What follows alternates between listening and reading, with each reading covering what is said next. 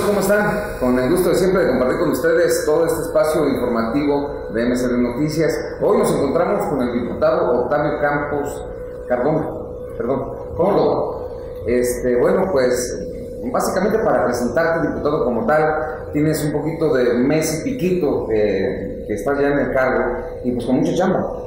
Así es, primero pues agradecerte mucho que hoy tengamos la oportunidad de poder platicar la gente que nos vea a través de este noticiero y decirte que sí, pues ya tenemos un mes, un poquito más de un mes que tomamos protesta, que iniciamos un trabajo legislativos y pues contento por este nuevo proyecto y también asumiendo una gran responsabilidad que los ciudadanos del distrito me han conferido. Muy a pesar de que, de que es muy joven esta legislatura, este, ya le estás entrando con todo a la chamba. Una de las iniciativas que recientemente propusiste es que en lugar de que venga el seguro social como base aquí, que venga la Zagarpa. Sí, sí, así es. Ya hemos hecho algunas propuestas, logramos el tema celular para poder ayudar a nuestros hermanos ahora que hicieron las manifestaciones.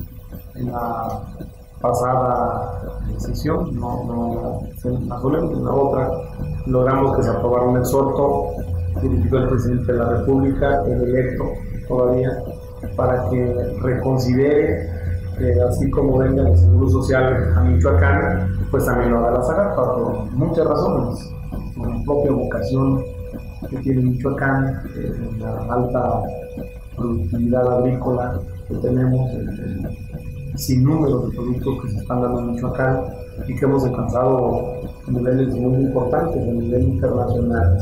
Eh, producir aguacate en Estados, Estados Unidos deja una ventana económica como no tenemos pues eso eh, es, algo que, nosotros por vocación deberíamos de pensar. Con eso no quiero decir que no es importante el seguro, claro que es importante. Eh, hay que decir también que del seguro vendrían las oficinas centrales, no quiere decir que te vas a poner a quedar en un hospital o cosas de estas. Sin embargo, la Zagarpa, pues creo yo que ayudaría ir potencializando eh, proyectos que le den valor agregado a los productos que se dan. Entonces ahí fue encaminada, ya se aprobó el exhorto, queda ya como una eh, consideración que va a asumir la presidencia de la República a partir del 1 de diciembre y estaremos pendientes, ojalá que, que lo pueda reconsiderar y eso será en beneficio es más el asunto administrativo que vendría pues del Seguro Social, hay que entenderlo de esa forma. Es el asunto administrativo lo que se vino a colocar. Yo, yo lo entiendo así, y además quiero decirte que, no hay una comunicación oficial al Congreso que de entrada el presidente todas nuestras funciones. Y lo que sabemos es de dicho, que a través de, sus declaraciones de los medios hemos conocido, no hay una comunicación oficial, pero es, es necesario que si eso llegara a ser, entiendo que serían las oficinas centrales del Seguro Social y no que hospital.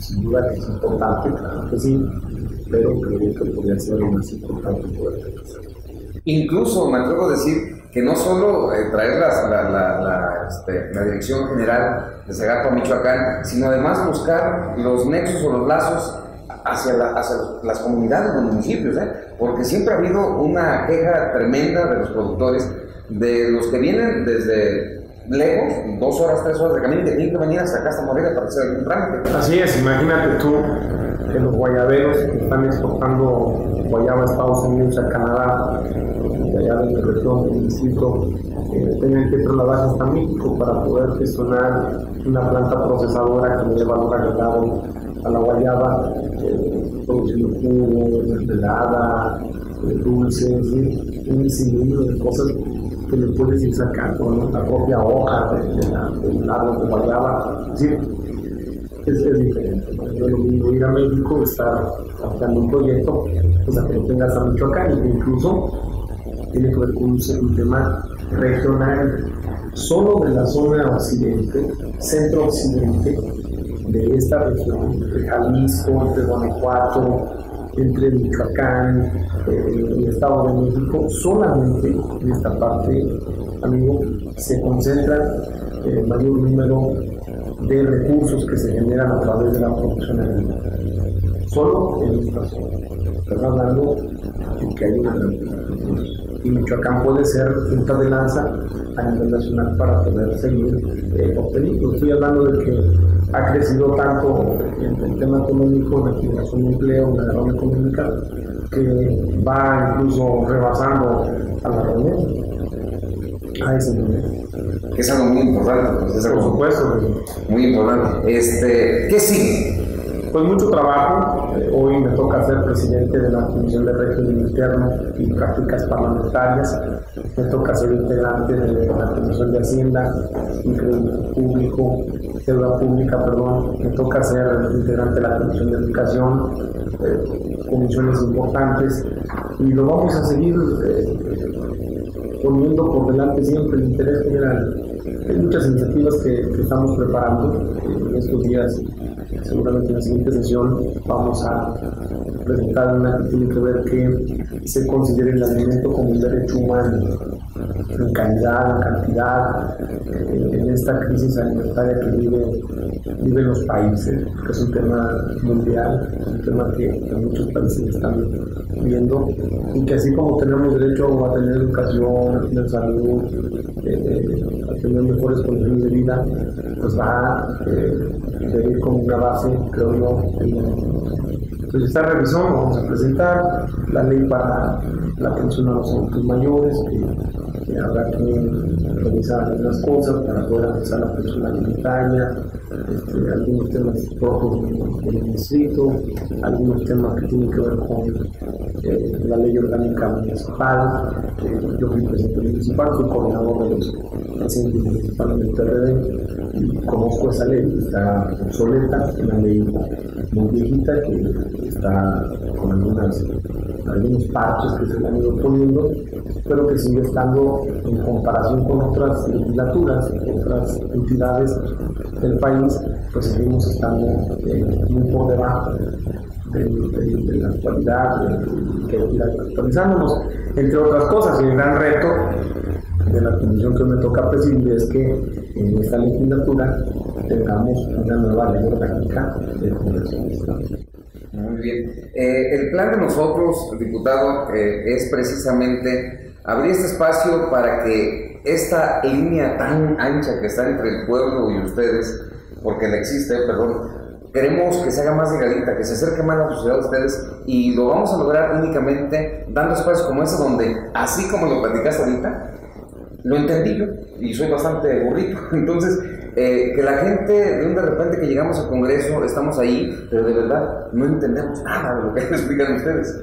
por los términos que manejan, por muchas situaciones. Entonces, ojalá que me, sigas permitiendo venir a, a, quitarle un poquito el tiempo para que logres explicar esto. Claro que sí, con todo gusto. Yo soy un eh, creyente que los diputados, aparte de poder legislar, fiscalizar, todas las propias tareas que tienen los diputados, pues la otra es que hay que ir en encuentro con la gente. Yo estoy muy agradecido con la gente. Hoy, eh, de esta legislatura, si no me equivoco, el segundo diputado más votado de todo el Estado. Yo saqué casi 40 mil votos.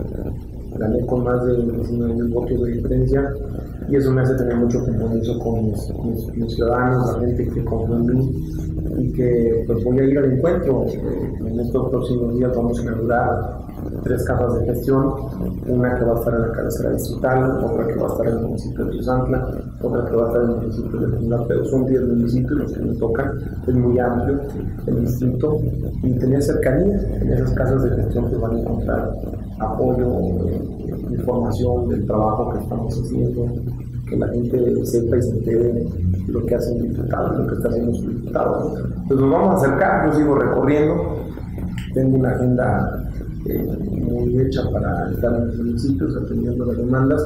La única manera de que un legislador pueda eh, presentar iniciativas, puntos de acuerdo, la única manera es cuando vas al encuentro con la sociedad. Porque ahí es donde te das cuenta de lo que la gente está requiriendo. Si un legislador se pone a hacer eh, leyes desde un escritorio, desde una oficina, pues son leyes sin Cuando vas al encuentro con la gente, te encuentras de sus demandas, de las necesidades, de lo que vive a diario la gente que es muy distinto a pensar en eso. Ahí es donde deben de surgir las iniciativas que ustedes ponen en la mesa de la misma sociedad, del contacto que tiene y las necesidades propias que te, están mostrando Es correcto, así es. Yo te agradezco mucho, tengo que despedirme, se nos acabó el tiempo amigos. Como siempre, si me están viendo a través de las páginas de YouTube, de la plataforma, eh, les pido de favor, suscríbase, no, no les cuesta absolutamente nada y pónganme un me gusta, de esta forma recomienda cada vez más y más este noticiero a las demás personas. Si nos ven a través de Facebook, tenemos la entrevista por separado del, segmento informativo. Señores, yo me despido como siempre, fue un placer haber estado con ustedes. Esto fue MC de Noticias, soy Ángel Daza. Háganme un gran favor, sea usted feliz. Diputado, gracias. Gracias.